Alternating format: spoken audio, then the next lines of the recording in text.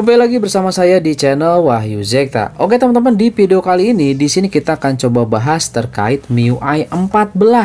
Waduh ya, MIUI 13 saja belum merata dan di sini sudah mau ke MIUI 14. Dan perlu teman-teman ketahui sebelumnya saya juga sudah buat video kalau misalkan katanya rumor mau ada MIUI 13.5.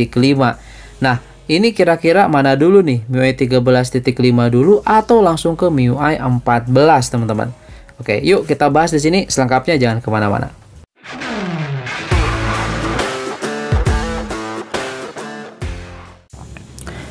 Oke, MIUI 14. Nah, bagaimana menurut teman-teman? Nah, sebelumnya kita sudah bahas ya terkait MIUI 13.5. Nah, device apa saja yang dapat, kemudian juga apa aja fitur yang baru di situ. Termasuk di versi MIUI 13 ini ada juga fitur yang akan ada nanti di MIUI 13.5, tepatnya di aplikasi security, teman-teman.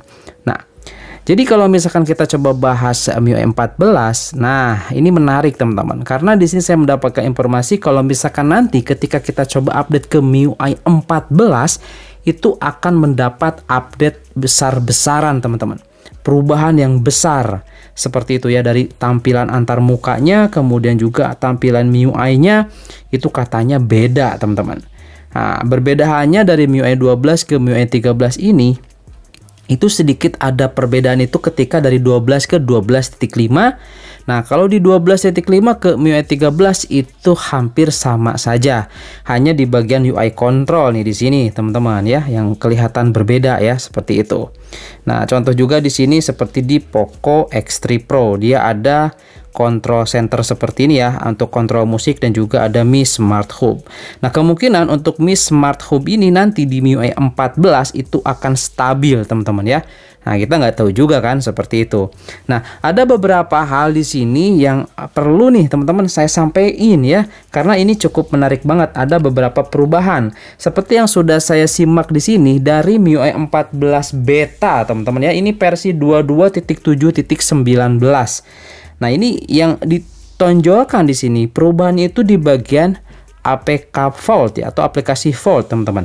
Seperti itu. Nah, contoh di sini di Poco F3 saya kebetulan untuk versi MIUI Indonesia ID-nya, MIUI 13-nya ini ada fitur untuk aplikasi Vault.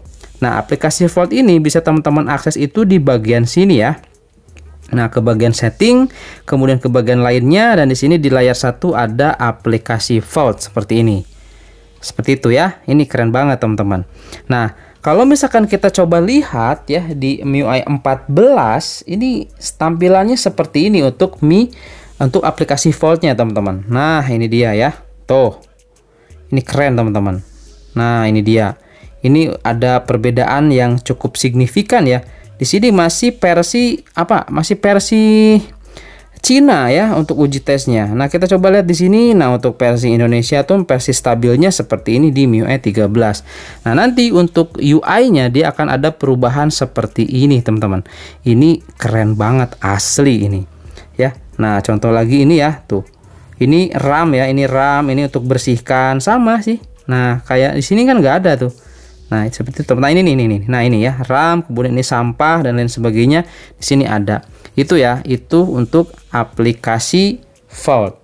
Selanjutnya di sini di aplikasi jam teman-teman ya. Nah kita coba nih lihat di aplikasi jam.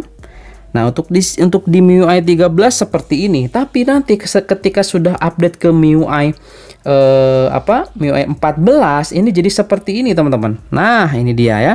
Tuh alarm kemudian clock ya jam stopwatch timer. Nah ini kan kita seperti ini aja.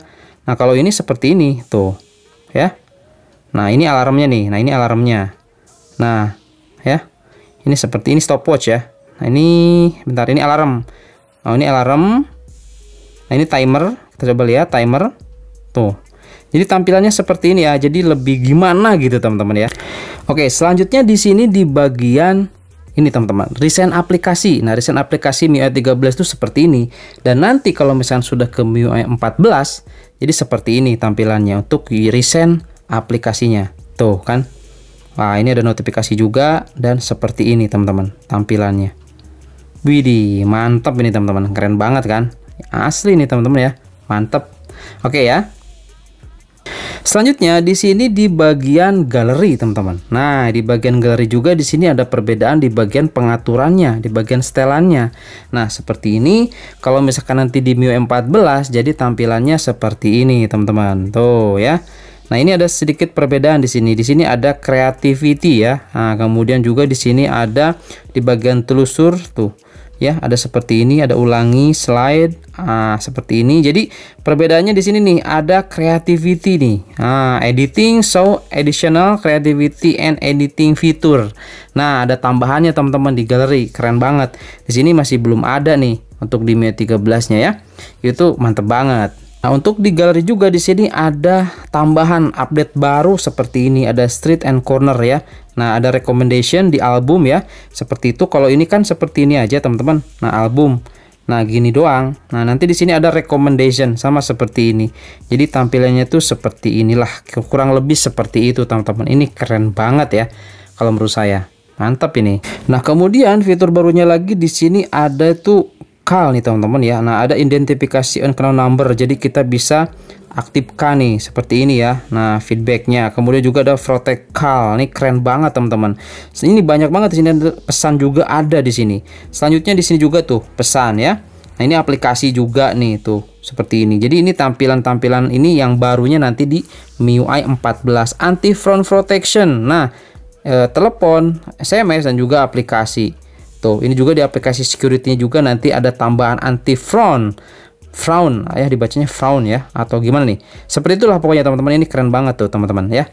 Nah, ini untuk di nanti di MIUI 14. Ih, mantap ini teman-teman.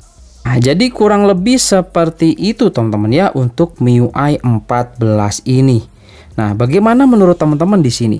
Kalau harapan saya sendiri sih ya yang pasti jangan sampai ada banyak bug. Itu aja sih. Kalau misalkan udah ada update ke sistem terbaru nah usahakan tolong nih pihak Xiaomi jangan sampai ada bug yang terlalu sangat mengganggu lah. Contoh seperti kemarin pas pertama kali kita update ke Mi 13 itu banyak sekali bug. Itu nggak tahu karena memang sistemnya ke hardwarenya belum siap atau seperti apa.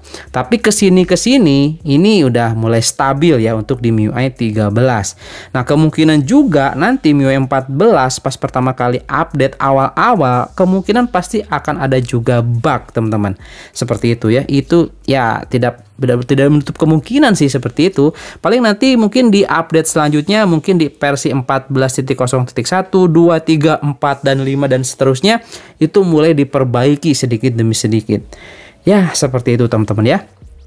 Pasti ada perubahannya Oke, mungkin itu aja di sini ya terkait pembahasan update ke MIUI 14 apakah worth it atau tidak.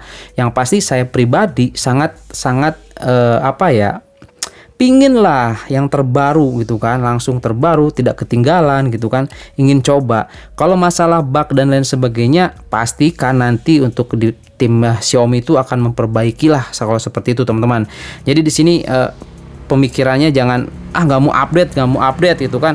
Ya malah jadi bug dan lain sebagainya. Itu enggak enggak seperti itu teman-teman. Justru update itu ya ada fitur baru kemudian juga bisa mendapatkan pengalaman baru dengan sistem dan juga teknologi yang baru. Seperti itu teman-teman ya. Oke itu aja mungkin ya di video kali ini. Mudah-mudahan ada informasi yang bermanfaat. Sampai ketemu lagi di video selanjutnya